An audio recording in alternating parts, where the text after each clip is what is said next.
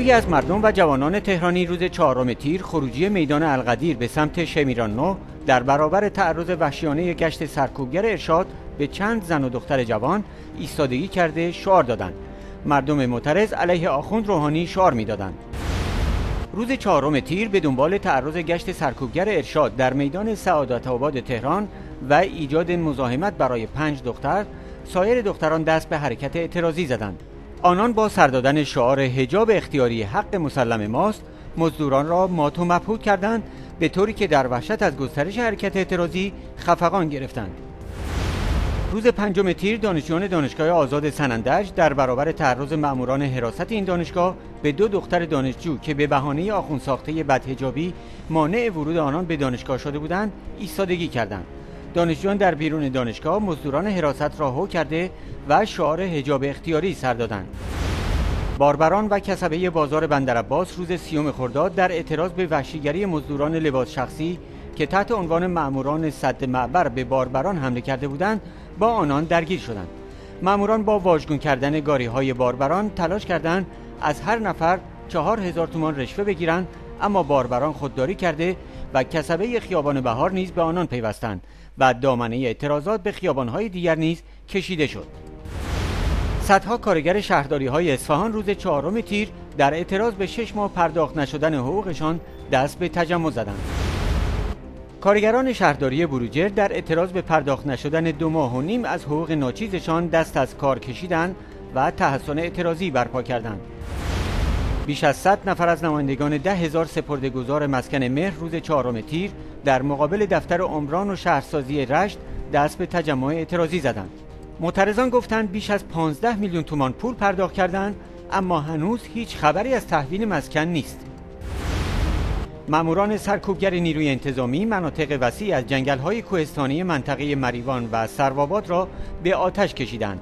توجیه نیروهای سرکوبگر پوشیده بودن این مناطق از دید مزدوران برای سرکوب مردم است. جوانان اصفهان در روز نیمه شعبان در محلات مختلف به سردادن شعارهایی از قبیل زندانی سیاسی آزاد باید گردد و مرگ بر دیکتاتور پرداختند. در میدان شهدای اصفهان به سمت خیابان کاظمی این تظاهرات به درگیری با نیروی سرکوبگر انتظامی انجامید. روز نیمه شعبان جوانان مناطقی از تهران از جمله تهران پارس، شهرک مخابرات و شهرک غرب شعارهای اعتراضی از قبیل مرگ بر دیکتاتور زندانی سیاسی آزاد باید گردد سر دادند جوانان در اکیپ های مختلف تجمع می کردند و بعد از سر دادن شعار متفرق می شدند وحشت از قیام و تلاش بیهوده بسیج و نیروی انتظامی برای پاچگیری بیشتر. پاسدار نقدی سرکرده نیروی سرکوبگر بسیج به مخالفت مردم با اقدامات وحشیانه مزدوران رژیم که تحت عنوان امر به معروف و نهی از منکر انجام می‌دهند اعتراف کرد و گفت این از جمله فرایزی است که معارض دارد. پاسدار نقدی که روز سوم تیر در سمنان صحبت می کرد گسترش لانه های مزدوران بسیج را به عنوان راه حل برشمرد و گفت بسیج در نظر دارد با ایجاد و توسعه شوراهای امر به معروف و نهی از منکر این فریزه را از محله ها ترویج و گسترش دهد. سرکرده بسیج ضد مردمی به فریب نخوردن مردم نسبت به دجالگری های رژیم آخوندی نیز اعتراف کرد و گفت نماز، روزه، حج و غیره معارض ندارد و حتی آدم های بدبین نیز با این فرایز مشکل ندارند. ولی بعضی از فرایز مانند جهاد و امر به معروف و نهی از منکر معارض دارد که مشکلات آنها بیشتر است. همچنین پاسدار احمدی مقدم سرکرده نیروی انتظامی روز پنجم تیر به تلاش ویژه این نیرو به سرکوبگری علیه زنان اشاره کرد و گفت در حال حاضر در حوزه افاف و هجاب تلاش بر این است که نیروی انتظامی در بخش هایی که این امر به ناهنجاری اجتماعی تبدیل شده باشد با تذکر و اصلاح رفتار وارد شود. یادآوری می شود تعداد زیادی از مزدوران بسیج و نیروی انتظامی در ماههای اخیر توسط مردم گوشمالی شدند و روز پنجم تیر پاسدار آخوندی معاون نیروی انتظامی از کشته شدن 20 نیروی انتظامی ظرف سه ماه اخیر در درگیری با مردم که وی آنان را اشرار مینامید خبر داد.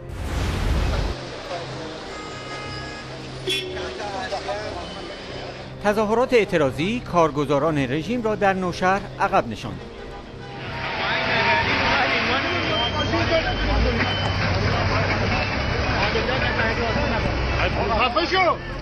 طی روزهای اخیر رژیم آخوندی اقدام به تخریب باغ گیاهشناسی در نوشهر کرد استانداری مازندران در نامه‌ای دستور تخریب این باغ 35 هکتاری را صادر کرد و از بامداد چهارشنبه پنجم تیر عملیات تخریب شروع شد.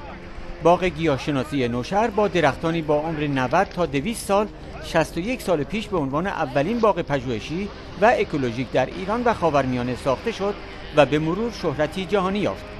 در برابر این اقدام ضد محیط زیستی صدها تن از مردم نوشهر در اعتراض به تخریب این باغ با در دست گرفتن پلکارت هایی تجمع کردند و تهدید کردند چنانچه این اقدام ادامه پیدا کند به اعتراضات خود ادامه خواهند داد. به دنبال اوجگیری این تظاهرات کارگزاران رژیم در وحشت از بروز یک بحران اجتماعی اعلام کردند این طرح را متوقف خواهند کرد. مجددا رفت توی هیئت محترم دولت. اونجا هم مصوب شد که وزیر محترم جهاد کشاورزی هم بالاخره عضو هیئت دولت هست دیگه. اونجا مصوب شد. توسط دبیر خدمت شما از کنم که هیئت دولت به استان ابلاغ شد برای اجرا.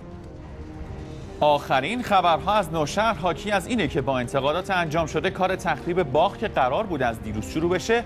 فعلا برای بررسی های بیشتر متوقف شده.